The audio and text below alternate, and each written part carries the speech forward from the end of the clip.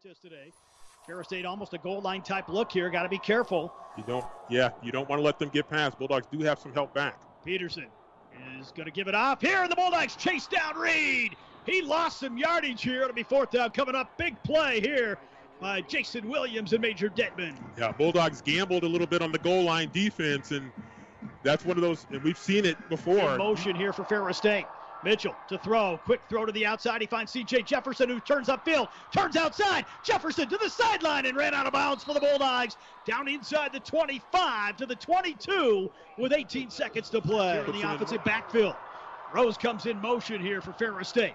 Brady to the wide side. Mitchell looking to throw. Pressure coming. One on one to the corner. Touchdown Bulldogs to Hunt Thompson right at the goal line. Great throw right there to Tyrese Hunt Thompson, Rob. Just a stop fade right there in the corner. He did a good job of selling that he was going to the corner. Broke it off right there, just inside the pylon. Ball right on the money from Mylik Mitchell. Big third down here. If they can get off the field here, this would be huge. Third and eight here for the Lakers. Ferris State coming with the house. Peterson nowhere to go. He's going to be smothered back inside the five. Boy, they were all over him. Peterson wanted a face mask right there, but they just mauled him for a huge loss. Looking to apply some pressure here on second and eight.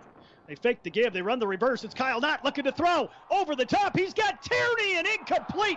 Broken up by the Bulldogs and no flags on the play. That was absolutely, I think, the right call. To be honest with you, they came back, got a hand up, and got a piece of the ball. Go here for the Bulldogs, third and three here from the 49. You could take a deep shot here if you're going to go for it on fourth down.